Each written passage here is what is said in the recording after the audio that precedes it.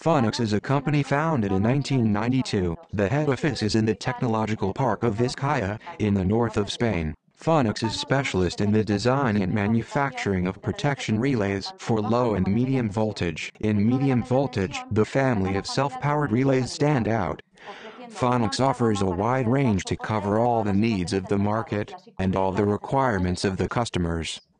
If we speak about self-powering, the first question that comes to mind is, why do self-powered protections appear? These protections arise to solve two undeniable facts. The first one is that the RMUs with fuses are being substituted for RMUs with circuit breaker. These last ring main units don't have auxiliary power, so the use of a self-powered protection is essential. The second reason is the lack of maintenance in the transformation center due to three main motives. The first one is the lack of access of some of the transformation centers, some of them are buried or in areas of difficult access. The second one is that approximately the 50% of the transformation centers are purchased by individuals that ignore the maintenance routine of these centers. Finally, the third reason is the lack of qualified personnel.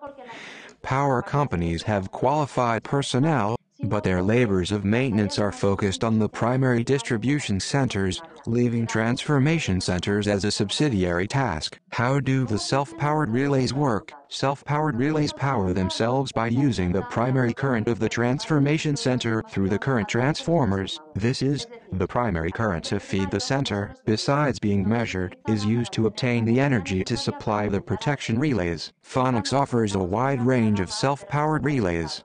The first classification is related with the transformers, depending on if relays work with standard CTs or specific CTs. What is a standard transformer? Standard transformers use a secondary equal to 1 ampere or 5 amperes. In this group SIAC relay stands out. Why? Which feature does it offer? Not only it works with standard transformers, it also offers a very low consumption. This fact allows the transformers to have a low burden. If we are working with a secondary of 1 ampere, the burden will go round 2.5 VAS. In case of transformers with the secondary current equal to 5 amperes, the burden will go round 5 VAS. The other group of Fanox self-powered relays work with specific transformers. What is a specific transformer? Provide a special characteristic regarding the standard transformers. For example, a higher saturation level, a wider measure range or double core.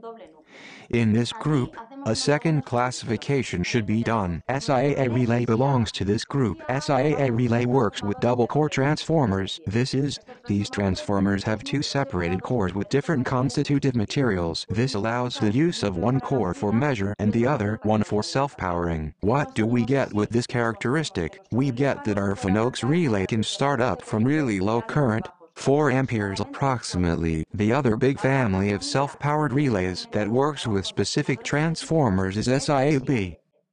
This relay works with specific transformers that are already implemented in the market, and they are used by other self-powered relays manufacturers. Which special feature does the combination of this specific transformer plus SIAB relay offer? This relay has a really low consumption, so it is possible to start up very fast, offering a very short time onto fault.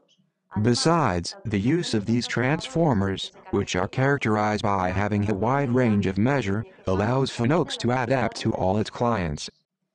Which opening mechanism will be used with self-powered relays? This is the next question that comes to mind. We know that self-powered relays do power themselves from the primary current and the energy is scarce, so an efficient management of this energy is indispensable. Due to this situation using coils is not viable because they have a very high electrical consumption. Instead of the coils, strikers are used. What is a striker? A striker is a simple element. It consists on an electromagnet that is charged when the breaker is closed. To trip it required low energy, 100 millijoules approximately, which is the problem of the striker, or which is the most complicated aspect related to the strikers. Their correct selection. Why? In the market, there is a wide range of strikers depending on the needs of the clients.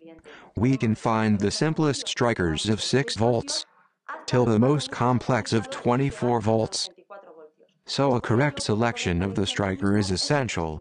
What advantages do Fanox relays offer? Fanox relays are able to trip all the strikers offered by the market. That way, we can give support to all our clients about this issue. Once the working of the striker has been understood, the next question that comes to mind is, is it possible to use a self-powered relay in a cell where a coil is installed instead of a striker? The answer is yes, it is possible to install the relay, but an additional device is required. This device will give the sufficient energy to trip the coils. Fanox offers amongst its products catalog the TCM adapter.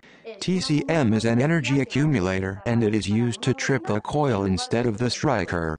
How does TCM work? It is a simple device that is connected to the trip contact of our relay, and it can be charged before the installation, or once the device is installed if in the installation auxiliary supply is available.